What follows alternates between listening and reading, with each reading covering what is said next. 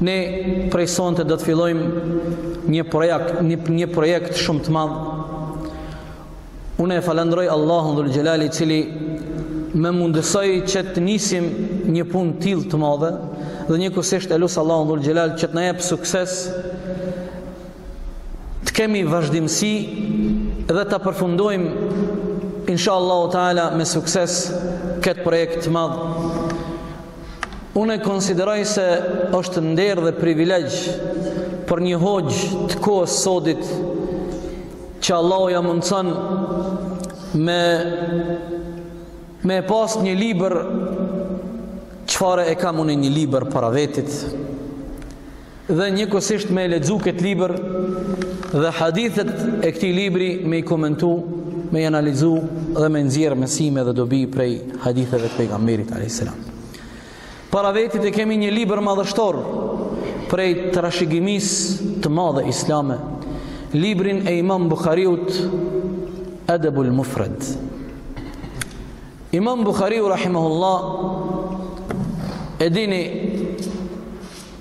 Nuk ka nevojë me fol për jetën dhe peshën e Imam Buhariut.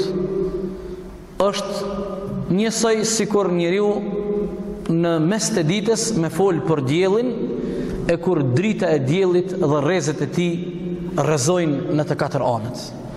Ashtu e njëjta është me fol për jetën e Imam Buhariut Muhamed ibn Ismail el-Buhari,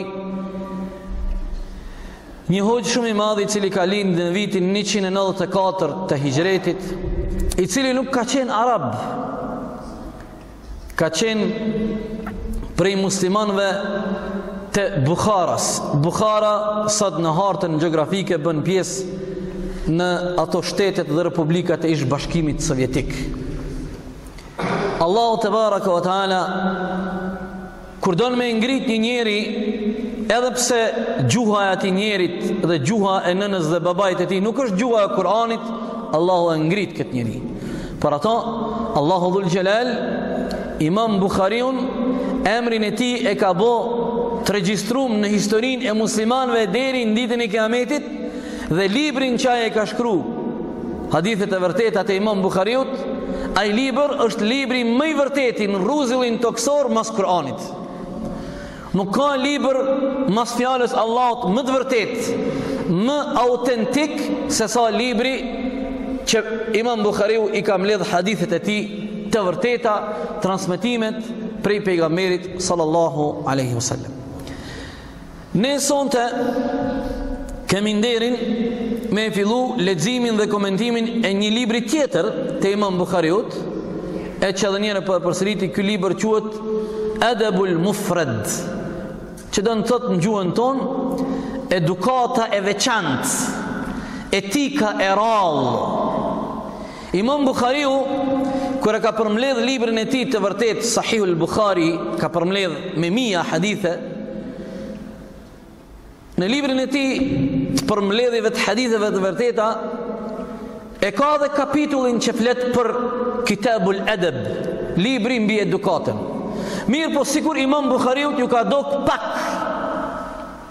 Ato hadithe që i ka përmbledh në atë kapitull në kuadër të Sahihul Bukhariut, mirëpo imam Bukhariu ju ka qasë kësaj pune dhe e ka shkru një libër të tërë mbi edukatën, mbi etikën dhe e ka qujt edukata e rallë ose etika e veçantë që duhet ta dijë çdo musliman. Sigurisht vllezër të nderuar, Se edukata në jetën e besimtarit është një çështje shumë me rëndësi. Dhe njeriu dhe muslimani i vërtetë, besimtari i mirëfilltë duhet t'i dijë të gjitha ato kodet dhe normat e edukatës dhe etikës së mirëfilltë. Duke fillu prej edukatës me Allahun tebareke ue teala, pastaj edukatën me pejgamberët, edukatën me Muhammedin a.s. edukatën me familjen e tij të ndershme, edukatën me shokët e tij, edukatën dhe etikën përballë prindrëve, edukatën përballë të afërmve, edukatën përballë fqinjëve, e kështu me radhë. Për ata imam Bukhariu, në këtë libër madhështor, i ka përmbledh Të gjitha kodet, normat e edukatës dhe etikës dhe e ka qujt me plot të drejtë këtë libër Edebul Mufred, Edebi i veçantë. Ne e përdorim edhe në popullin tonë, sidomos pleqtë, që ky është me edep, që ky është pa edep, që ky me edukatë demek, që ky është pa edukatë, që ky s'ka fije edepi, s'ka fije edukate. Mirëpo çka është interesante, o vëllazër, kur imam Bukhariu kur e ka shkru këtë libër, për afërsisht para 12 shekujve,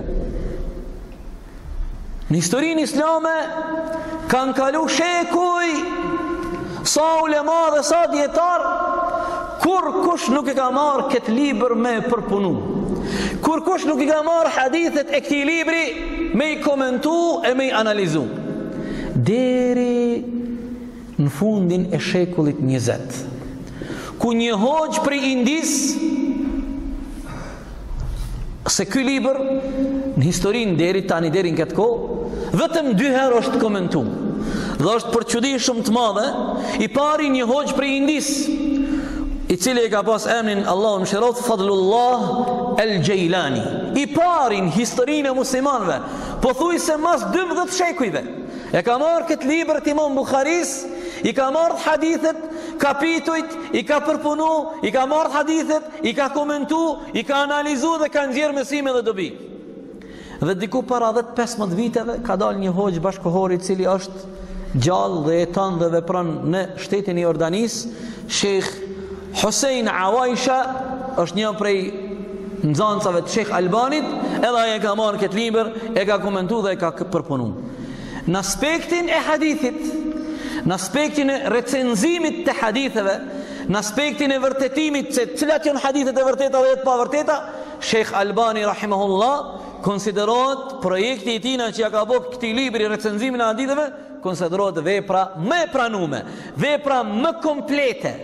Ka pas edhe hoxhallarë tjerë para Sheikh Albanit që i kanë shërby në aspektin cilat hadithe janë të vërteta dhe cilat jo, mirëpo kur e ka marrë Sheikh Albani edhe e ka përpunu, i ka recenzu hadithet, i ka nda hadithet e vërteta prej haditheve të pavërteta, vepra e Sheikh Albanit konsiderohet Deri në këto momente, projekti dhe puna ma komplete, ma e përsosur që i ka bo këtij libri. Për ato një dijetar islam, ka thonë, krejt ummeti musliman i ka pas borxh imam Bukharisë, që me e marrë këtë libër e me e komentu. Kur e dimë ne çfarë vlere të madhe ka imam Bukharia, kur e dimë çfarë kontributi ka jep ai për hadithet e pejgamberit a.s. Kur e dimë se libri i tij është libri ma i besueshmi në rruzullin tokësor mas Kur'anit, a nuk o kon borxh për hoxhallarët edhe për ulematë ndër shekuj me e marrë librin e Imam Buhariut, këtë librin që kemi ne pranë vetit, Edebul Mufred, me e komentu dhe me e përpunu? Për ato kur kur e ka bo i pari ky hoxha prej Indisë, Fadlullah el-Xhilani, e ka komentu dhe e ka përpunu, një hoxhë i asaj kohe thotë, Elhamdulillah, Ka dalë ky burrë prej Indisë e na ka la prej borxhit krejt neve po dhe ata që jon kon para neve përballë autoritetit të Imam Buhariut. Ky libër vëllezër është përkthyn në shumë gjuhë të botës. Për fat të mirë është i përkthym edhe në gjuhën shqipe. që unë ju inkurajoj dhe ju nxiti mundësisht është mirë me e ble këtë libër dhe me e pas në bibliotekat tuaja. Është përkthy edhe në gjuhën boshnjake. Është i përkthyem edhe në gjuhën angleze dhe shumë gjuhë të botës. E kur jemi tek përkthimi i këtij libri dhe shërbimi që ia kanë bo muslimanët, du me përmend një një gjë shumë interesante. Një hoxhë shumë i zoti i cili ka qenë prej hoxhallarëve që e kanë fol gjuhën urdu. Gjuhën urdu sot e folin në Pakistan një pjesë e madhe, në Kashmir, e në disa shtete t'botës. Muhammed Hasan Siddiq Khan e ka marrë qet libër edhe për 18 ditë i ka përkthy hadithet prej gjuhës arabe që i ka përmbledh Imam Buhariu në gjuhën urdu. Diku para 100 viteve, Allahu mshiroftë. Subhanallah. Kjo është një punë shumë e madhe, është një nxitje e madhe, është një inkurajim për hoxhallarët që janë dembela me punu për këtë fe dhe me i shërby kësaj feje. Për 18 ditë i ka marrë hadithet e imam Buhariut prej librit Edebul Mufred e i ka përkthy pej gjuhës arabe në gjuhën urdu Muhammed Hasan Siddiq Khan Allah, Allahu e mshiroftë dhe e shpërbleftë për këtë punë të madhe që e ka bo Ky libër o vëllazër, Edebul Mufred, konsiderohet në bibliotekën islame dhe në trashëgiminë e madhe islame si libër shumë i veçantë, si libër shumë i rëndësishëm. Për ata unë sonte juve ju porositi, ju nxiti, ju inkurajoj që të jeni të rregullt në ligjërata dhe t'i tregoni edhe të tjerëve, sonte nuk ka prezencë shumë të madhe të vëllezërve dhe të motrave për arsye se nuk kanë qenë të informum mas kësaj pauze a po fillon dersi apo nuk po fillon, megjithatë unë ju porositi juve këtu që jeni prezent dhe ju t'i porositni të tjerët, është shumë mirë, është shumë me rëndësi me marr pjesë, me prezantu në leximin dhe komentimin e këtyre haditheve se janë shumë të rëndësishme për ne o vëllezër. Ne me lejen e Allahut, po fillojmë sonte me, katip, me kapitullin e parë, unë i kam këtu të dy librat, të dy komentet, që janë të rëndësishme për arsye se çdo njëni prej tyne ka diçka të veçantë çka nuk ka komenti tjetër.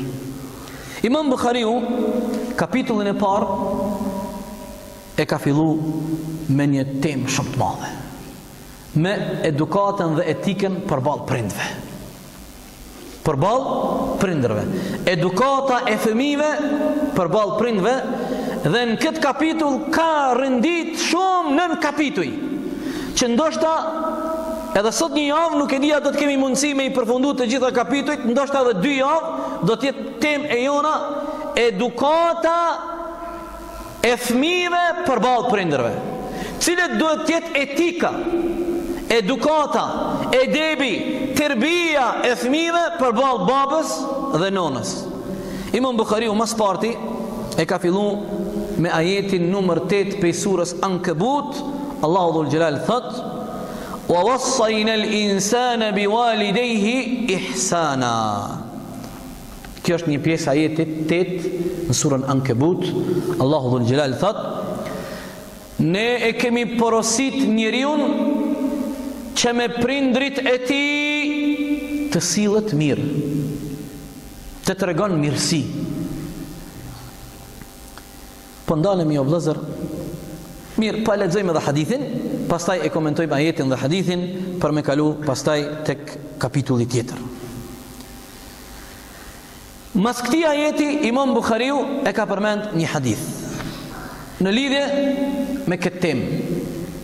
Allahu dhul xhelal edhe njëherë po e përsëriti po thotë e kemi porosit njeriun kush po porosit Allahu dhul xhelal e kemi porosit njeriun bi walidayhi husna. Me prindët e tij, me nënën dhe me babën, m'u sjell në formën më të mirë. Me tregu mirësi, sjellje, shërbim, hizmet përballë prindërve. Mas këtij ajeti, Imam Buhariu e ka përmend hadithin e Abdullah ibn Mas'udit radhiyallahu anhu i cili thotë Këto hadithe, pjesën më të madhe të këtyre haditheve të gjithë i keni dëgjuar, i keni lexuar. Por ne kemi nevojë të ndalemi dhe të mendojmë mirë e gjatë për këto hadithe se Allahu po na porosit. A ke pa kur don kur ka një porosi me rëndësi? Ti për shembull në familjen tënde e ke një e ke një rast. Edhe don me i porosit, ki nevojë të tjerët me i porosit për rëndësinë e asaj ngjarje që ka familja jote. A e zgjidh një fëmijë 6 vjet me shku me ia çu selamin filonit edhe fistekit për me i porosit? A e zgjidh njerin ma t'kfilltin, njerin ma seriozin, njerin ma t'mençmin, njeriun ma t'rëndësishmin me shku edhe me ia çu një porosi? Kon e zgjidh, a e zgjidh një fëmijë, a e zgjidh njeriun ma të rëndësishmin? Ha? Njeriun më të rëndësishmin.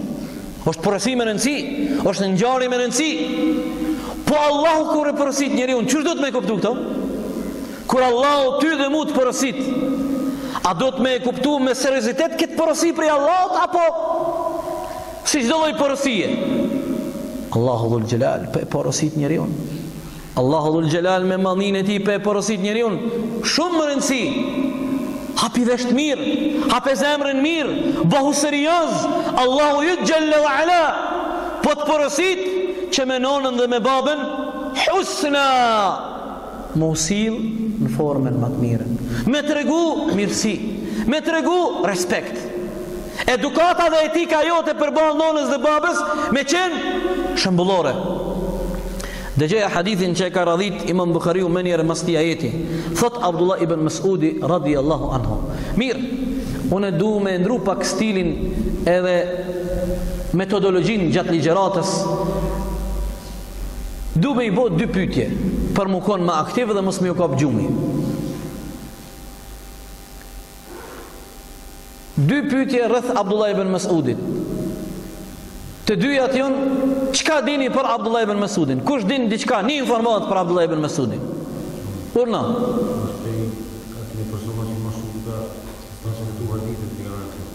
Abdullah ibn Mas'udi është prej gjashtë burrave se shtatë njerëz jonë që kanë transmetu ma së shumti hadithe. Jonë gjashtë burra dhe është edhe ni gru. Gjashtë burrat jonë Enesi, Enesi ibn Maliku, njo. I dyti është Ebu Hurejra, dy edhe jonë katër Katër çka? Katër Abdullahat, Abdullah ibn Mes'udi, njo, Abdullah ibn Abbasi, dy, Abdullah ibn Omeri, tre, Abdullah ibn Amr ibn al-As, katër, edhe Aisha, shtatë. Kta duhet me i ditë. Se po dim Reali kën e ka marr. Po dim Barcelona çka ka bo. Kto s'bon mos me i ditë. Mirë. Kush din edhe diçka për Abdullah ibn Mesudin? Edhe një informat. Burrë i madh u kon ky. Është njoni prej atyne sahabeve që pejgamberi i ka përgëzu me xhennet duke qenë gjallë. Edhe njo, një informat dikush? Nuk është Abdullah ibn Mas'udi, ai është Sa'd ibn Mu'adhi. Sa'd ibn Mu'adhi është ai i cili kur ka vdekë radhiyallahu anhu, u dridh arshi i Allahut. Hajde shpejt mos u koritni. Tri fjalë mos me i ditë për këtë burrë të madh. Unë po e them të tretën se s'prrim kohë. Abdullah ibn Mas'udi mos harro. 70 sure të Kur'anit i ka mësuar drejtpërdrejt prej gojës pejgamberit alayhis salam. Sa sure i ka Kurani? Ku ku mos thoj se din. 114 sure i ka Kurani. Me bo me thon ma pak a ma shumë? U kry puna. Mos me dit sa sure i ka Kurani, sa i ka Abdullah? 114. 70 sure. Abdullah ibn Mas'udi radiallahu anhu i ka mësu prej gojës pejgamberit sa.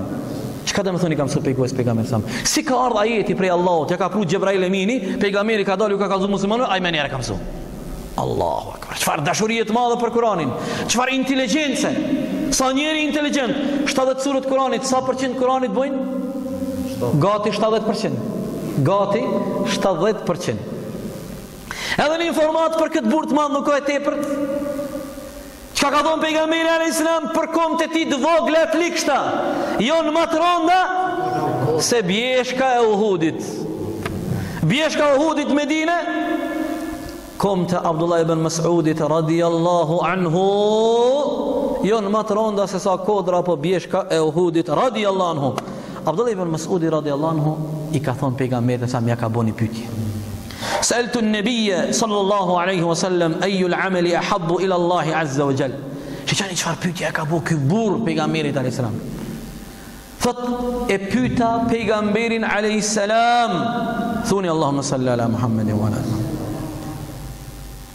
O i dërguari i Allahut, cila punë është ma e dashura te Allahu? Cila vepër është vepra ma e dashur te Allahu xhel-le ue ala? Pejgamberi alayhis salam ia kthej përgjigjen as-salatu ala waqtiha. Vepra ma e dashur te Allahu është namazi në kohën e tij. Abdullah ibn Mes'udi po bon pytje për herë të dytë.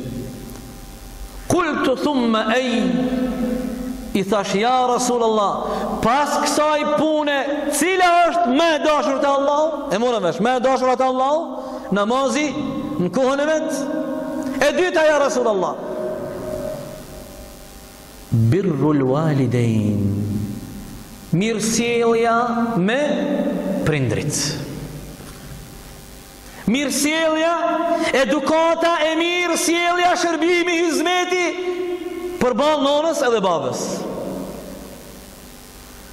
Kultu thumme ej, i thash për herë të tretë ja Resulallah E mas kësaj cila o ma e mira Po fillon prej ma t'madhes Kategoria ma e madhja, ma e mira namazi në kohën e vet Pastaj mirësjellja përballë prindve E treta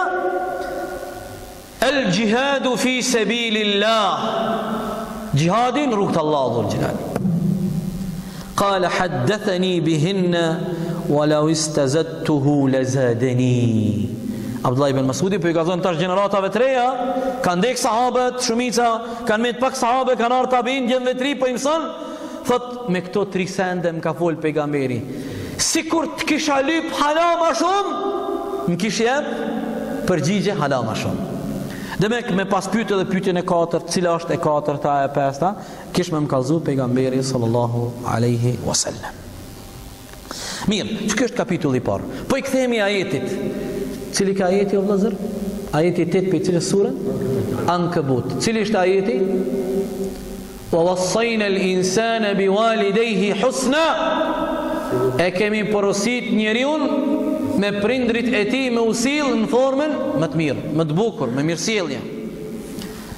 Ibn Kathiri rahimahullah, po i kthehemi ajetit pikë së pari. Ibn Kathiri, kush e din kush është Ibn Kathiri? Shpejt, shkurt. Çfarë hoxhe ke, me çka me çka u marr? Shpejt. Komentimin e Kuranit Ibn Kathiri është prej hoxhallarëve që e ka bo një koment të Kuranit, një tefsir, është i përkthyer për fat mirë n'gjuhën shqipe. Është prej tefsireve më të pëlqyme, prej tefsireve më të pranume në botën e ehlus sunetit, i cili ka jetu para shumë shekujve. Ibn Këthiri për këtë ajetin të të surës Ankebut thotë, Allahu tebaraka wa ta'ala i urdhëron robrit e tij që të sillen mirë me prindrit e tyre, i nxit, kërkon prej tyre që të sillen mirë me prindrit e tyre, menjëherë mas njëshmërisë ndaj Krijusit. Ngase, dy prindrit, pse Allahu kërkon prej fëmijëve që të sillen mirë me prindrit, thotë Ibn Kathiri, për arsye se prindrit, nana dhe baba, janë shkaku kryesor për ekzistencën e fëmijut. Ata janë bo sebeb që ti ke ardh në dunja. Por ata, ata janë ata të cilët meritojnë respektin kulmor.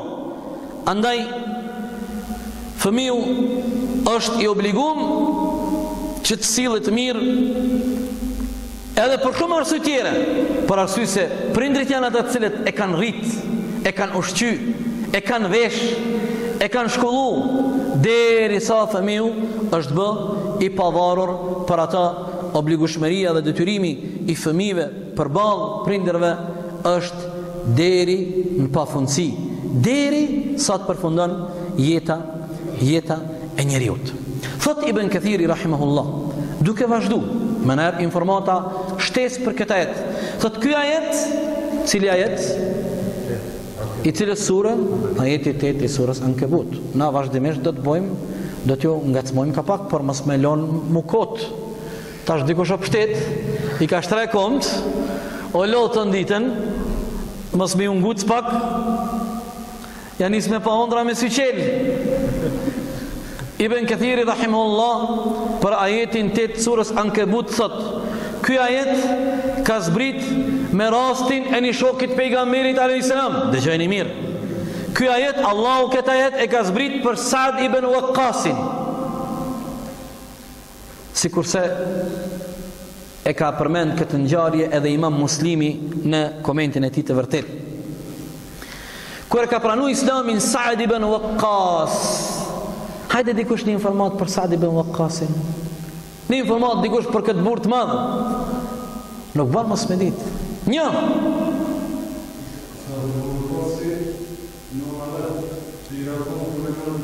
Allahu të shpërbleft. Tash për çfarë ka zbrit ai? Tash kem me e kallzu. Ju nxirri pej krizëse. A dinë edhe dikush edhe diçka? Edhe diçka për Sa'd ibn Waqqasin. A dinë edhe dikush? E ka një veçuri që asnjë sahabës s'e ka.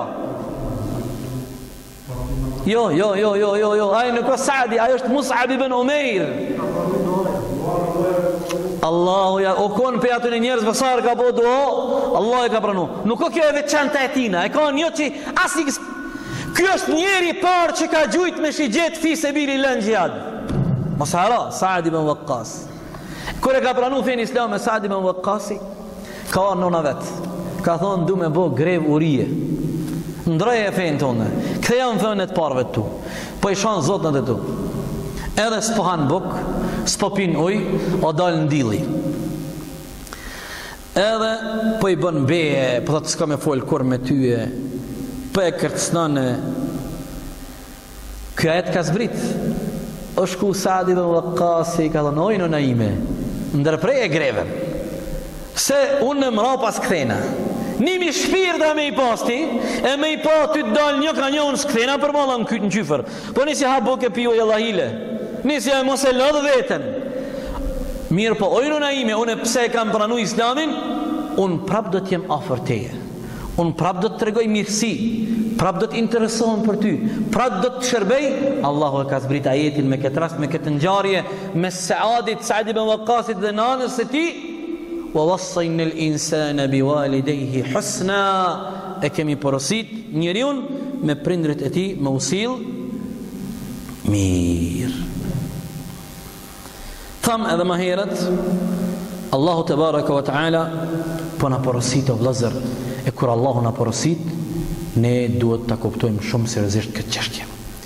Kjo është shkurtimisht sa i përket ajetit, edhe pse na për ajet mundemi me folë edhe shumë, shumë më gjatë, Mirëpo, qëllimi jonë është me kalu sa ma shpejt, mos m'u vanu shumë, për arsye se e, nuk mundemi atëherë 10 vjet me i dalë në fund këtij libri. Po qështu ka pak ka pak po japim informata, ka një, ka një, ka 2-3 informata për ndonjë sahabe, për ndonjë ngjarje, sa me pas e, informacion sa ma shumë rreth e, kuptimit të këtyre Haditheve dhe porosive të Imam Buhariut. Po kthehemi te hadithi i Abdullah ibn Mas'udit radhiyallahu anhu. Tha ja Rasul Allah, cila vepër është vepra më e dashur te Allahu? Çka tha pejgamberi alayhis salam? Namazi, falja e namazit në kohën e vet. Dijetarët islam, shumë dijetarët islam kanë fol për këtë mesele. edhe kanë folë në shumë aspekte. Kanë folë prej aspektit të rëndësisë të namazit në fenë islame. Kanë folë prej aspektit të rëndësisë të faljes namazit në kohën e vet. Kanë folë prej aspektit a thu vallë namazit qenka vepra më e mira dhe më e dashura te Allahu edhe para xhihadit, edhe para prindve, respektit ndaj prindërve, Ngase pejgamberi alayhis salam e radhiti në gradën më të lartën. E qysh me i bo pajtimin e këtij hadithit me hadithe të tjera që në shiqim të parë mund duket që ka kontradiktë apo ka kundërshtim. Ë nuk ka dyshim o vëllezër se çështja e namazit është çështje shumë madhore në fenë tonë. Allahu e drejtoftë popullin tonë, pikëspari familjet tona. Qofshin ata prindrit tonë, qofshin motrat, nanat tona, qofshin vëllezërit, motrat tona, gratë tona, fëmijët tonë, të afërmit tonë, e mbarë popullin. Se ne nuk i kemi punë të mirë me namazin, ju e dini. Nuk i kemi punët mirë me namazin. Si shoqëri, E pejgamberi alejhi selam ju e dini sa hadithe ka fol për rëndësinë e namazit. Kur ka dashur pejgamberi alejhi selam me shku me sulmu ni popull ni vend, ni katund a ni qytet, ka prit derisa ardh koha namazit sabahit. Çka ka prit? Kush e din? Ka prit a po thirr ezani? Po thirr, ka paska musliman. S'thirr ezani. Bismillah Allahu Akbar. S'ka musliman? Kta s'kokan musliman. Kokan pa fe. Ka prit me ndi namazin? Namazin, ezanin e sabahit. Për me këqyra ka na a ka te ai milet, a ka musliman a s'ka musliman. Për me dit qysh me i trajtu, a me i trajtu si musliman, a me i trajtu si të pa fe. A po shihni o vëllazër? Në namazit dhe rëndësia e namazit? Një hadith tjetër pejgamberi alayhis salam ka thonë: "El ahdu alladhi bainana wa bainahum tarku as-salah." Dallimi mes neve dhe mes atyre, kush janë mes atyre? Të pafeve është lonja namazit. Allahu azza wa jalla në Kur'an po na tregon Kur ka me i pyt Allahu dhul xhelal Ma së pari xhehnemlit Ma salakakum fi sakar Çka ju boni juve me ardhë në sekar? Sekari është një pi llojeve të xhehnemit. Përgjigja ma e para, nuk e kem falë namazin. Allahu na rujtë, ja rabbi. Allahu na rujtë, ja rabbi. A po shihni vëllazër sa rëndësi të madhe ka falja e namazit? Për ato disa dijetarë, Islam, duke e ditë dhe duke e pa rëndësinë dhe peshën e madhe të namazit, kanë ardh deri në përfundim, dëgjo mirë. Kanë ardh në përfundim, a ka iman ai njeri që s'e fal namazin? La ilaha illallah Muhammedur Rasulullah. E kanë kontestu besimin dhe imanin e një njerit i cili thotë jom musliman e nuk falet. La haula wala quwata illa billah. Sigurisht se unë do të jem shumë i kujdesshëm, do të jem shumë i matur, do ta zgjedhim rrugën e mesit e cila është rruga e Ahlus Sunnetit, larg prej ekstremizmave dhe tolerancave. Se sigurisht se dikush mundet me nxitu, s'falet. Çfarë është ai? Kadalë. Ne jemi shumë të vetëdijshëm, duke i pa ajetet dhe hadithet dhe shpjegimet dhe qëndrimet e Ehlus Sunetit se çështja e namazit është çështje vendimtare. Është çështje që s'ban bre pa ta vallahi. A e dini dijetarët islam kanë marrë konsideratë dhe kanë pas rezerva për një njeri që i thotë vetit musliman e nuk e fal namazin e kur e pyet këtë njeri pse nuk falesh, ai e ka këtë punë prej dembelisë e prej neglizhencës. Ndërsa një njeri që e mohon obligushmërinë e namazit ulemaja për këtë njeri s'kanë bërë mabet. Krejt ulemaja janë të pajtimit ixhma konsensus se një njeri i cili thotë unë se kam obligim me bo namazin, çka i thonë këtij njeri? Këti s'i thonë musliman. Mirëpo, ai kontestimi Ai muhabeti, ato diskutimet që i kanë bënë ulemaja, janë për atë muslimanin i cili thotë jam musliman, e din që e ka obligim namazin, e pranon obligushmërinë e namazit, po tregon neglizhencë, dembeli, xhahillok përballë këtij farzi. Qitu diskutimi, merreni vesh mirë meselën, a? Se nuk mundemi na m'u kthy 100 herë në të njëjtën meselë. Për ato vllazën. Jo rastësisht. Pejgamberi alayhis salam e ka radhit vepra më e dashur te Allahu as-salatu li waqtiha. Me fal namazin në kohën e vet. Me fal namazin në kohën e vet. Nëse don me e bo veprën më të mirën që është më e dashura te Allahu, atëherë edhe për ty o namazli, o ti që i fal besh vakt namaz, kujdes, kujdes, mos lejo me shty namazin. Mos lejo mu sill me neglizhencë edhe me pakujdesi, edhe me papërgjegjësi para kohës ka hi koha namazit o vëllau jem. Allahu të rujtë në xhennet qoftë. Fale namazin. O qe po kqyri edhe pak pe hape që O a fale namazin Le internetin Se me të ardhë meleku me ta marrë shpirtin E ti nuk e ke falë namazin E ka kalu një orë pej kohës namazin Çka ke me i thonë Rabbul Aleminit ti? A ta merr mendja që e ke arsyen Valla kesh tu e pa emisionin parotla Ja Nuk është kjo arsye? A do a mendon që është arsye Pse je tu e pa një film a një lojë Ka kalu një orë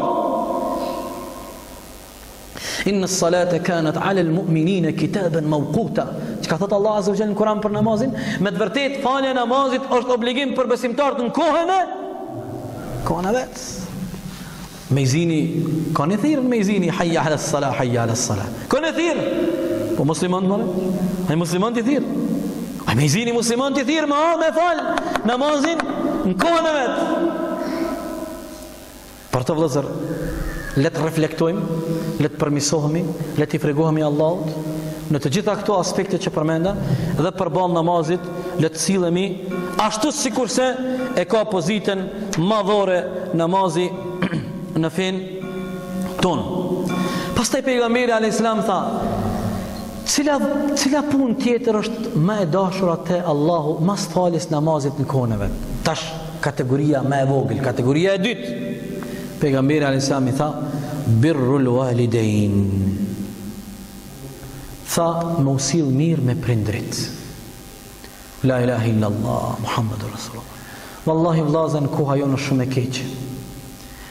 Ne jetojmë kohë të keq.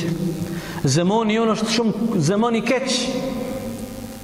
Koha jonë është asi kohe që ku mundesh ti me mësu ose me e ndi dikon që të porosit edhe të mëson edhe të flet me u sill në formën më shembullore me nënën edhe me babën. Ku mundesh me e ndi këtë mabet? Ku? Veç në xhami. A mundeni diku ket muhabet me ni? A mundeni me, a, a ka ndonjë gazetë? Në gazetën ditore.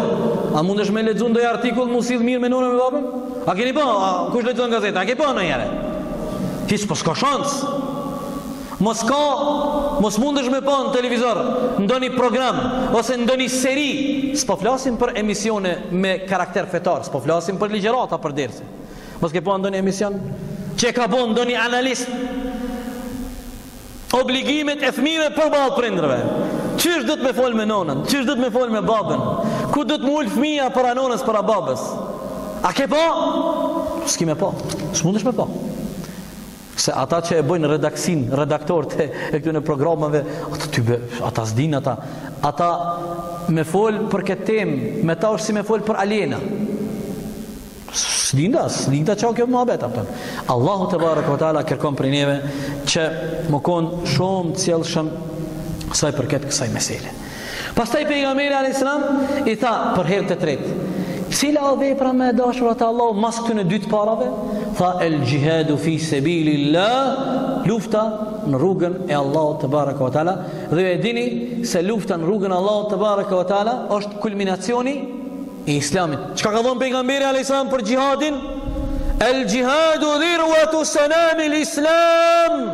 Xhihadi o kulminacioni i Islamit. Kulminacioni.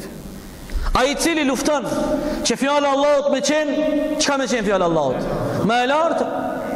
Ai e jep pasurinë e tij. Ai e jep forcën e tij. Në fund e jep edhe çka? Edhe shpirtin e tij. Që fjala e Allahut me qen, më e lartë. Që fjala e Allahut me qenë ma e larta, për ata pejgamberi alejhi selam e ka vlerësu kulminacion i Islamit. Mirë, po i bëjmë një përfundim dhe një rezyme këtij hadithi, sikurse e ka bo kë hoxha jonë i nderum, komentuesi i këtij hadithi, i këti këtyre haditheve, E ka marrë prej Ibn Haxherit, Ibn Haxher El Askalanit në librin e tij madhështor Fethul Bari, komentin që i ka bo Imam Buhariut haditheve, një përmbledhje dobi mësime prej këtij hadithi. E para, mësimi i parë.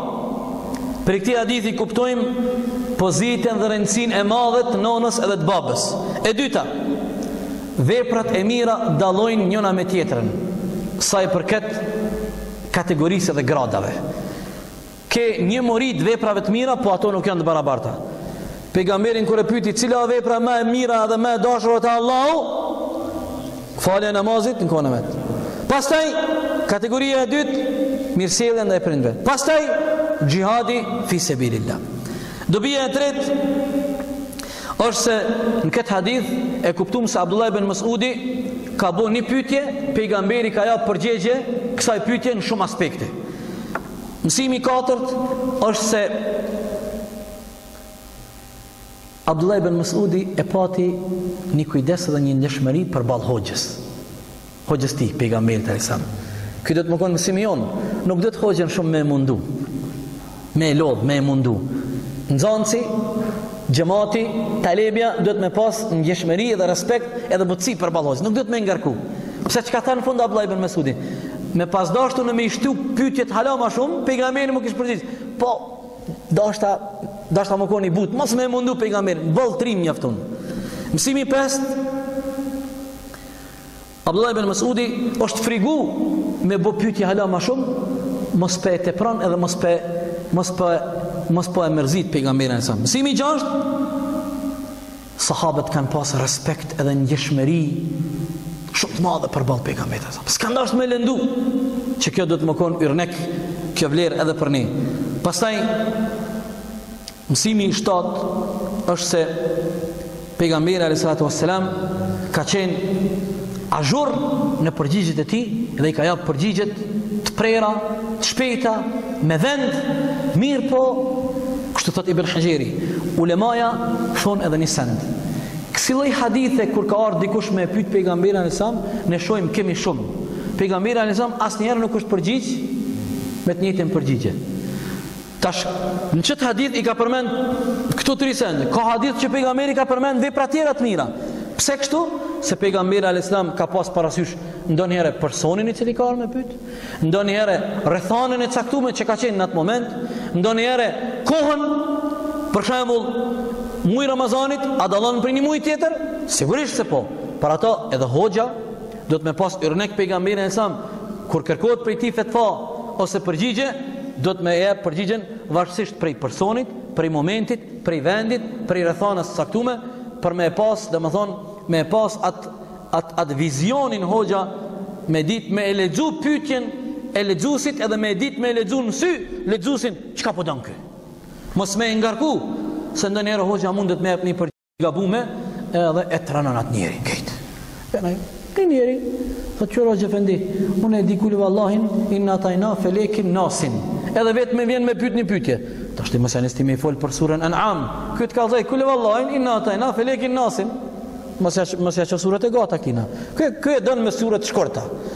Këti tash me i nis ka thënë Ibn Hajeri, Fethul Bari, Imam Bukhariu, Imam Muslimi, Imam Tirmidhiu, edhe ku ku ma boni hoxha kryt tupan, s'di çka më tha hiç kurgjo.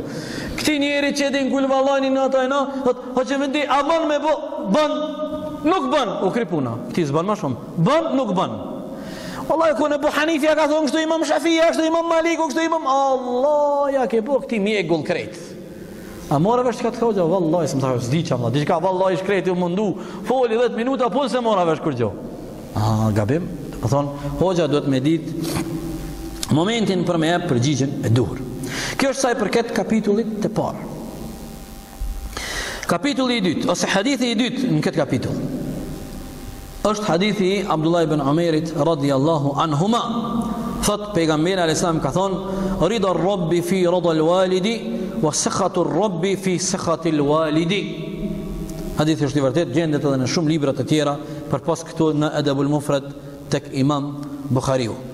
Thotë pejgamberi alayhis salam, kënaqësia e Allahut është te kënaqësia e prindit. Bile ka ardhur në këtë rast, në këtë transmetim te kënaqësia e babës. Mirëpo ka në transmetime tjera, është përmend edhe nana, të dy prindërit, po kjo nënkupton të dy prindërit. Ndërsa hidhrimi i Allahut është te hidhrimi i prindit. Allahu na rujt o vllazër, a po e shihni këtë hadith sa të madh? Ky hadith është trishtues. Rida Rabbi fi rida al-walidi. Nëse don me gjet kënaqësinë e Allahut, atëherë prindët e tu dun me kon t'kënaqur me ty. Hidhrimi i Allahut është nëse prindët e tu janë të hidhrum me ty Zoti na rujt. Nëse don me ditë a është Allahu i kënaqur me ty, Testoje veten. Testi është a jon prindt të kënaqur me ty. A ka a ke arrit me fitu kënaqësinë e prindit? Nonës dhe babës. Nëse ke arrit me fitu kënaqësinë e nonës dhe babës, me lejen e Allahut e ke fitu dhe kënaqësinë e Allahut. Nëse nona dhe baba nuk janë të kënaqur me ty, kanë vrejtje, janë të idhnum Zoti na rujt, atëherë ti ke arrit Zoti na rujt me fitu edhe hidhrimin e Allahut. Allahu na rujt ya Rabbi. Allahu na rujt ya Rabbi. Për ato, subhanallah, ulemaja kur kanë folë për këtë hadith dhe hadithet e ngjashme me këto që po e përmendin, e kanë vlerësu shumë këtë hadith. E kanë vlerësu, e kanë vlerësu shumë këtë hadith për shkak të rëndësisë të madhe që ka ky hadith në këtë aspekt në aspektin e edukatës së fëmisë përballë prindit. Etika e fëmisë përballë prindit. Hadithi i tretë. Imam Buhariu i ka qitë titull këti hadithi, kapitull, bab birrul um, kapitull, mirësjellja ndaj nonës, për nonën, Imam Bukhariu po don me i jep hakin nonës, babës, ka da një ka një, mos me mungu. Tash kapitulli i jonë i dyti e që vjen hadithi i tretë me radhë kapitulli mirësia, mirësjellja ndaj nonës. Imam Bukhariu e ka përmend këtë hadith ku një njeri ka thonë pejgamberit alejhi selam Ja Rasul Allah Men eberru Kuj t'i baj shërbimin ma të mirin n'këtë botë Ose kush është ai njeri që meriton shërbimin ma të madhin Kush është ai që meriton mirësinë Ma s'shumti Pejgamberi alejhi selam i tha këtij njeri Ummuke Nona jote Nona jote është krijesa E cila meriton respektin, sjelljen, shërbimin, hyzmetin Edukatën Ma të madhen S'ka kurkush ma shumë se sa nona që është meritore. I tha ky njeri. Tha ja Rasul Allah, kush vjen mas nonës? Pejgamberi alejhi selam i tha, prap nona jote. Tha ja Rasul Allah, e kush vjen mas nonës? Për herë t'dytë. Ummuke, prap për herë t'tretë? Nona. Tha e kush vjen tash? Pejgamberi alejhi selam i tha, ebak, baba yt.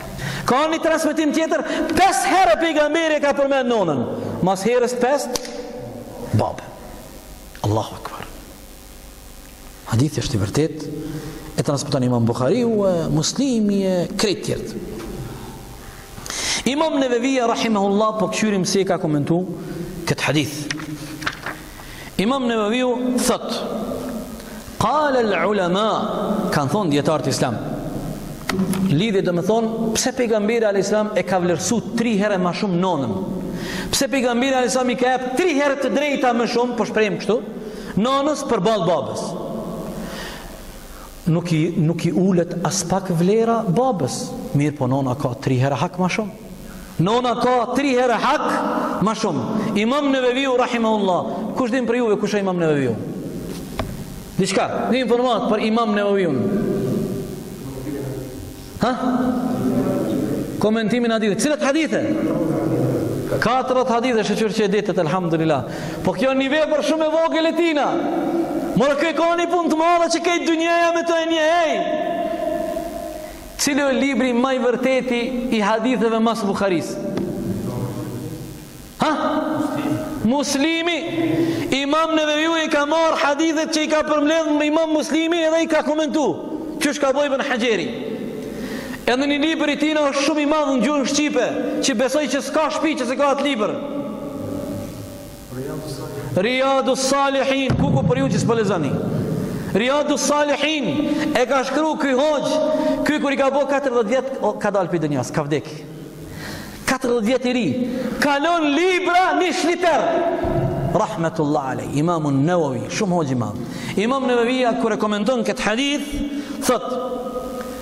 Kanë thonë ulemaja, shkaku pse pejgamberi alejhi selam i ka jap këtë përparësi nanës është shkaku i lodhjeve të saja, vuajtjeve të saja, mundimeve të saja, shërbimit që ajo ia bon evladit. E në veçanti për tri elemente.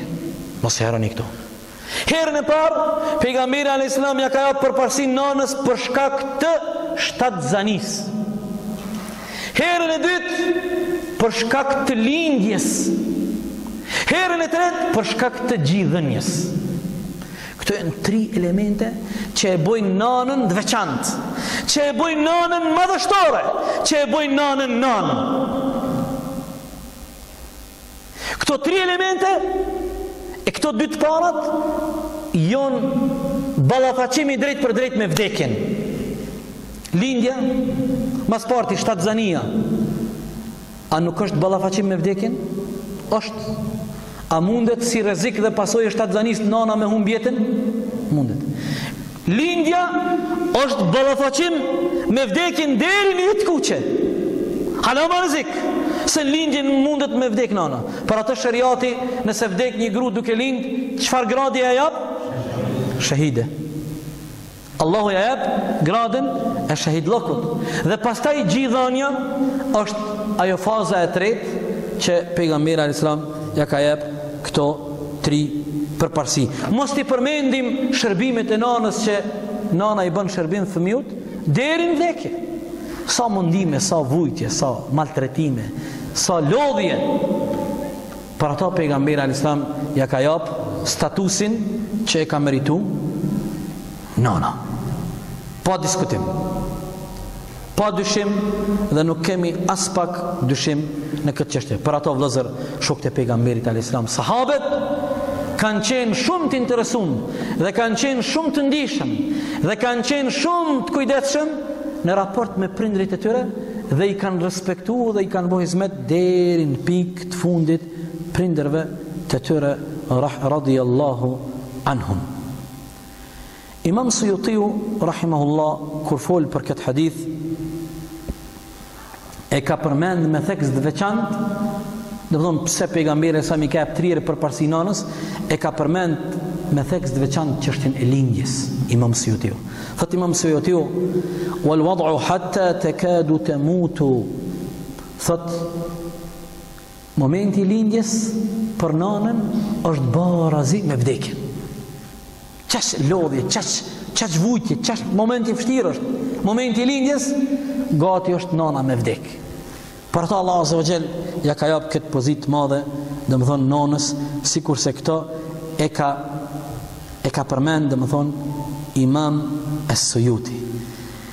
E ka përmend edhe një informatë tjetër, një tjetër prej dijetarëve duke e komentu këtë hadith, thotë, pejgamberi a.s. e ka përmend edhe e ka ngrit zanin për nanën, për arsye se shumica njerëzve munden me i hin hak nanës, edhe munden me haru nanën. Pse? Se nana pjesën ma të madhe Të kohës saj e kalon ku? Në shpi. Nëpër punë. Për fëmijë. Laju teshat. Bënju bukën. Pastroje shpinë. Baba pjesën më të madhe të jetës ku e kalon? Jashtë shpisë. Në angazhim për me e fitu rriskun. Sikur fëmijt përballë nonës e kanë një farë guximi edhe e kanë një farë lirie me kundërshtu nonën ma shumë. Po kur vjen baba, a guxojnë me kundërshtu? Një aspekt tjetër, thojnë ulemaja, natyra e femnës, në këtë rast nonës, është ma e butë. Nona thotë, a po rrin mirë a çohna t'rreh Vallahi kom me t'rreh Njëqind herë n'ditën Ai fëmija dhe ta Abe në nëjë me vetë qështu më thotë Se kurrë s'm'çohet me m'rreh Baba e këqyr, ai s'i thotë hiç a po rrin mirë, po i çohet e i bjen shkelm. S'i thotë a po rrin mirë. Nëse këta janë kon do far baballar, se tash as kësi baballar s'ka. Nëse na s'po thojm mirë e fëmijt, po tash baballar të në kitë, mlekani janë krejt, qumshtit, baballar të qumshtit, a kupton, mleçni, milka, çokollatë milka, a kupton, ha? Për ata ulemaja ka thonë pejgamberi alaihi salam nuk ka dashtë mu për mu nëpërkomb e drejta nanës. Se nana si gjini femrore mundet e drejta e saj mu nëpërkomb, mundet mu bo pesë pare, pejgamberi alaihi salam e ka ngrit zërin e tij dhe ka thonë nana jote, kush nana jote, kush nana jote. Vazhdimisht e ka ngrit zërin për mos mu nëpërkomb statusi dhe pozita e nanës. statusi dhe pozita e madhe e nanës. Këto domethonë jonë edhe domethonë edhe njët edhe po kalojmë te hadithi tjetër imam Tahawiu kur e ka përmend në librin e tina mushkilul athar kur e ka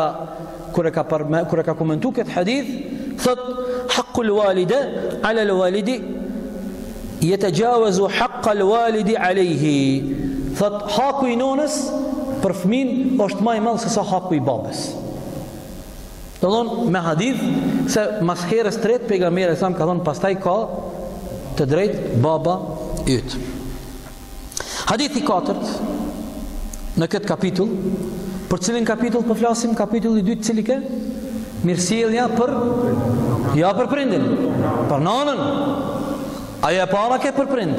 Kapitulli i dytë Imam Bukhari, Imam Bukhariu mirësjellja përballë nanës. E përmendëm hadithin e parë kur ka ardh ai njeri ka thon, cili njeri meriton respektin, shërbimin ma të madh n'këtë botë, ka thon nana tri herë. Tham ka një transmetim tjetër e ka përmend pejgamberi alaihi salam pesë herë. Tash po përmendim hadithin e dytë e kjo është hadithi i katërt me radhë për sonte. Dëgjoni këtë hadith shumë interesant. E transmeton Abdullah ibn Abbasi radhiyallahu anhuma. Thot Ky burrë i madh. Mirë, një pyetje. Kush din tri Informata i du për Abdullah ibn Abbasin radiallahu anhuma Shpejt I pari Abdullah ibn Abbasi radiallahu anhuma Mos e harro, kjo veçoria e tina përballë krejt sahabëve tjerë është njeriu i cili e ka komentu Kuranin ma s'miri Pejgamberi ja ka jap këtë pozit terxhumanul Kur'an. E ka lexu Kur'anin pej pejgamberit dy herë. E dyta informat, shpejt, shpejt, shpejt, shpejt, shpejt.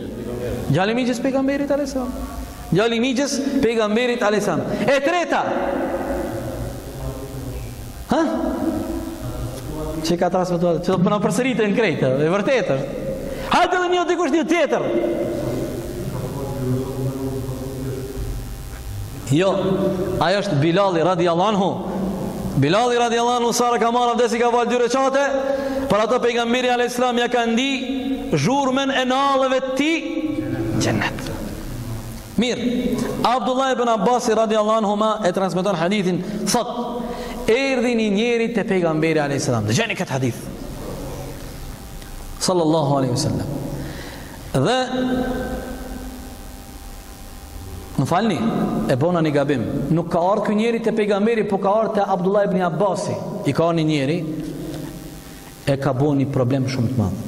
I ka thonë Abdullah ibn Abbasit, ka ardhë po lip fetfa prej këti hoxhë. Thot, e kom dashtë ni vajzë, kom shku me e feju, më ka refuzu. Kom dashtë m'u martu me to, s'ka pranu. O shku u martu me ni burrë tjetër. Prej xhelozisë edhe dashnisë që kom patë për at vajzën, pse ajo s'u martu me mu, jom shku e kom mbyt at vajzë. A ka teube për mu? Po du m'u pendu? Qysh m'u pendu?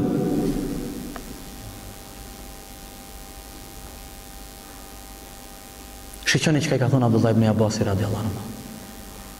Ummuka hayyun a e ki nonën gjallë? Thot jo. Thot atëherë bon ibadet dhe mundohu m'u afru sa ma shumë te Allahu dhe pendohu te Allahu se rritja e ibadetit, shpeshtimi i ibadetit dhe pendimit, insha Allah, është shkak që me i pastru ato të këqija dhe me u bo ni farlloj, ni farlloj baraspeshe. Mirëpo, kur o ardhë ky njeri me lypë këtë fetfa prej Abdullah ibn Abbasit, aty ka qëllu ni hoxhë tjetër shumë i madh, që ka qenë hoxhë i ri, djalë i ri, nxanës, dikur o bo i madh, Ata ibn Jesar. Ka darë qërët. Ka thë, o shku te hoxha i madh, Abdullah ibn Abbasi, ka thonë, kur erdh ai njeri me t'vetë që e kish mytë at grunë prej xhelozisë, a ka për mu pendim, pse ja bone pytjen e parë, a e ki nonën gjallë?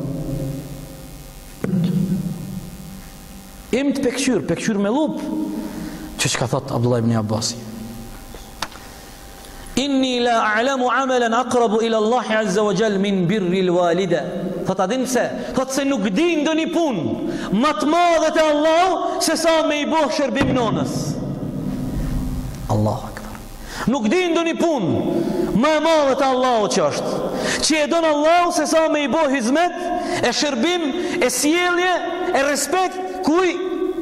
Nonës.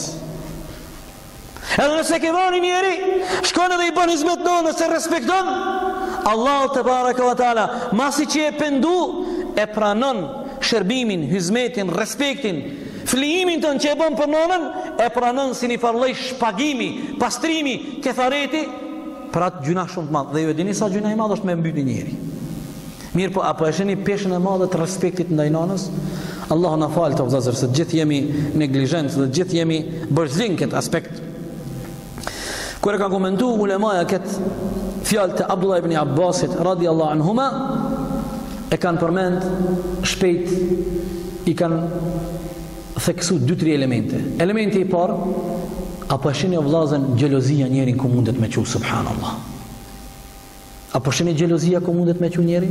Allahu na rujt ya Rabbi. Për ato pejgamberi alayhis salam thot, hasedi, xhelozia i shkatron punët e mira sikur zjarri ato drut e thata. Allahu na rujt ya Rabbi. Hasedi është smundje o vëllazën. Luteni Allahun, Allahu me ju rujt edhe me ju pastru zemrat e juaja pej kësaj smundje, mua dhe juve. E kini shok i ka punë të mirë, Allahu ja ka ep të mbarën, e ka familjen e mirë, ti ja nis dhe xhelozon ato. Fadhlullahi yu'tihi men yasha. Allahu mirësitë e tij kujt dun ja dhuron. Çka domethonë kur ti e xhelozon një njeri, sikur ti je kundër mirësive që Allahu ja ka dhuru atij njeri waliadhu billah.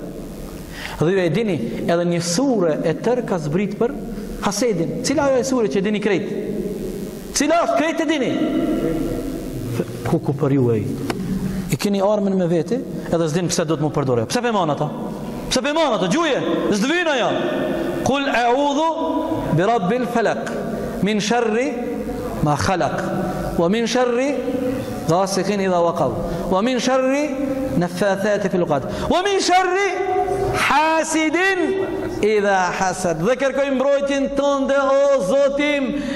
Prej sherrit, hasetçisë, xhelozit dhe xhelozisë tij. Po pse pse e ki pse e din ti për ata? As e kënon për zën ata? Po ti duhet me kënu dhe duhet me jetu me to. Ti kur e kënon kur bjen, para se me flejt në gjumë. Ti duesh me përjetu kur thush kul a'udhu bi rabbil falaq. Kërkoj mbrojtjen e Zotit tim, Zotit t'agimit. Duesh me përjetu ato. Se çdo njoni prej neve Është i rrezikum dhe i atakum prej xhelozisë edhe prej njerëzve të smutë që i kanë zemrat e smuta me xhelozi. Iblisi lanetullah alej. Dy elemente e kanë largu përgjithmonë prej xhennetit dhe prej rahmetit dhe knaqsis Allahut. Cilat janë ato dy elemente? Mendjemadhësia edhe xhelozia. Ja kish xhelozi Ademit alejhi selam, pse Allahu te bareke ve teala i urdhnoi krejt melaqet çka? Kush u tha ky tha? U tha unë do të ke bo pej lloçi. Xhelozi. Shpinë e mirë. Punë të mirë, dyqanin e mirë, grun e mirë. Njerëzit xhelozojnë. Fëmijët e mirë, evlad të hajrit xhelozojnë. Vijn njerëzit xhelozojnë. Sa i fëmijët i ka, mos vet çfarë i ka. Vjen edhe të gjelozon, vjen bon fesat, shpif për ty, bon gibet, kështu ashtu. Allahu na rujt ja Rabbi. Kur jemi te gjelozia, po du m'ju jap një dhurat të madhe, një fjalë të madhe të Ibn al-Qayyimit, mos e haro. Se çdo njeri i, i ekspozohet gjelozis.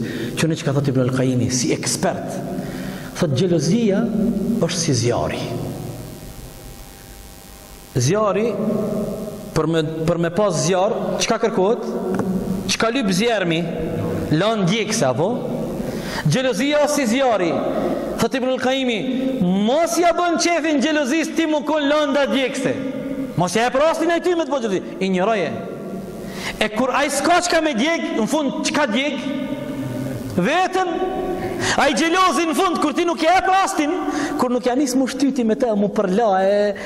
mu mu m'u bo dedikodu thashetheme mu intrigav ai në fund s'ka me çka mu djeg në fund djeget vetë dhe djeg shpirtin e tina edhe mbaron ça do të mi thonë njerëzve xheloz sikur Allahu na ka msu kul mutu bi gajdhikum vdisni me mllefin tuaj o qat inat edhe qat mllef që e ki o ishalla djeg po punë e madhe qështu Allahu na ka msu Unë ty nuk të jepi rastin ti mu marrë me mu, s'munesh ti mu marrë me mu. Unë s'të jepi ty rastin ti mu marrë me mu, s'bona unë e lanë djeg se e jotja. Ti ke me djeg veten. Për ato, pastaj elementi tjetër dhe i fundit për këtë hadith, është se Abdullah ibn Abbasi radiallahu anhu ka tregu se mas teubes për një punë që prej gjynahve t'mdhaja, Shërbimi edhe mirësjellja ndaj nanës është prej punëve ma të mdhaja që e pastron robin, Allahu na mundësoftë që me kenë gjithmonë në shërbim prindërve tonë inshallahu taala.